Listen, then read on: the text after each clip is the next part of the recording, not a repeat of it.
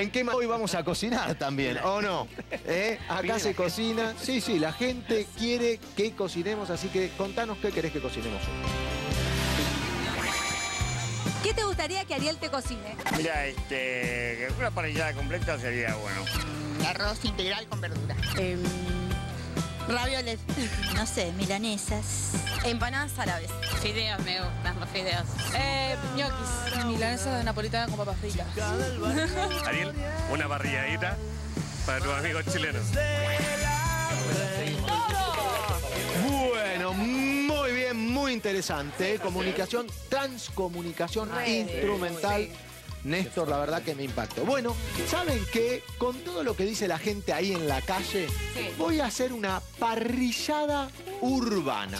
A ver, voy a hacer una carne al horno, por ejemplo, tapita, tapa de asado. Es el corte que a mí me encanta para picotear en la parrilla, al pie de la parrilla cuando van llegando los invitados. Es el cortecito, uy, qué bueno que está esto. Hoy la voy a hacer en el horno. Como no tengo parrilla en el departamentito donde estamos acá, entonces hoy Ahí está. Una linda tapita de asado. Le voy a poner sabor rellenándola un toquecito por ahí. Algo simple. Va a ir al horno, se va a cocinar y chau. En un asado que no puede faltar. Decí algo que vaya a hacer, Alexis, si no estás en un lío. ¿eh? ¿Qué es lo que te gusta con pan? Chorizo. Voy a hacer el choripán a nuestro estilo. Está muy bien. ¿Sí? Eh, que va a ser, van a ser eh, salchichitas parrilleras envueltas en masa de pan. Quedan espectaculares.